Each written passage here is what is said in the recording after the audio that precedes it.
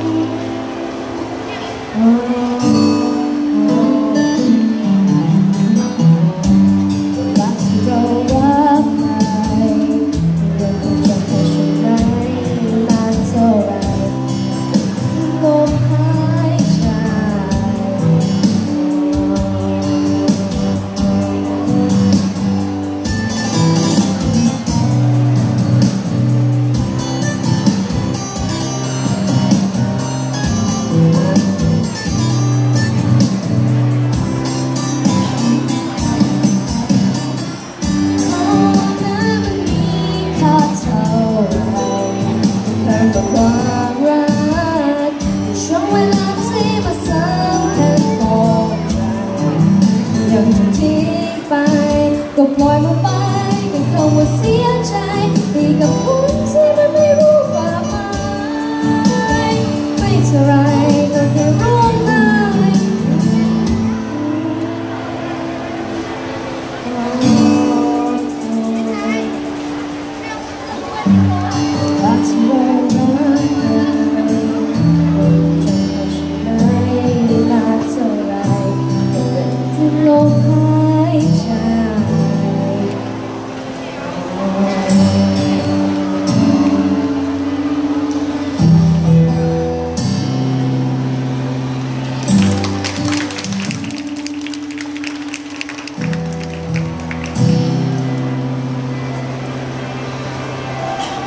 เอเต้ครับผ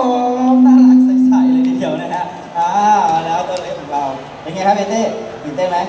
หน่อยนะครับหน่อยนึงครับผมต้องมาแซ่อ่าต้องนิดหนึ่งเลยว่าทำไมถึงเลือกเพลงนี้อะก็เพราะผมชอบการที่วัชราวลีวัชราวลีร้องนะครับอ๋อเราชอบวัชราวลีเราก็เลยวัชราวลีมาร้องของเราด้วย เราก็เลยได้ร้องแบบวัชราวลีอะไรนะเทคนิคเทคนิคเราชอบเทคนิคนะฮะเดี๋ยวเราไปฟัง comment ดีกว่าครับรอบนี้นะครับเดี๋ยวให้พี่เบิร์ดคอมเมนต์ว่าเทคนิคเราเป็นยังไงบ้างครับเชิญครับพี่เบิร์ดครับอ่าสวัสดีด้วยนะครับผมนะอันนี้ก็ต้องบอกว่าอยู่ที่คีย์เพลงเหมือนกัน คือน้องน้องยังเด็กอยู่เสียงนะครับ มันคือเพลงมันเพลงมันต่ำต่ำไป แล้วมันทำให้มันจมไปเลยพอเวลาร้องเสร็จมันก็แล้วก็อีกอย่างหนึงคือ น้องยังร้องไม่ค่อยชัดด้วยอ่าเออต้องต้องปรับปรุงเรื่องเรื่อง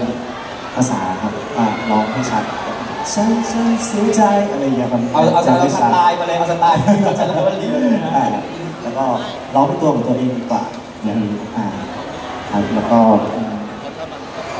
ฝากชมเนื้อเสียงนะครับอ่าเนื้อเสียงดีครับเนื้อเสียงดีเส้นเสียงดีครับอันนี้ดีเป็นจุดเด่นเลย แต่ว่ายังมีเรื่องเรื่องของคีย์ที่สำคัญครับ คือพอร้อง เพลงเสียงมันต่ำต่ำจนเกินไปแล้วมันมันไม่ออกนะครับเป็นไปได้ถ้า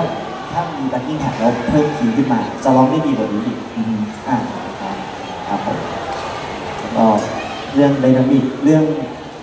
พลังเสียงก็ยังยังน้อยอยู่